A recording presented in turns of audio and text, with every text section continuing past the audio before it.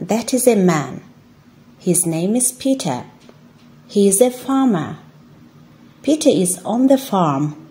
He has got a little funny kitten. It can jump and run. Peter has got a dog and a cat too. The cat and the dog are good friends.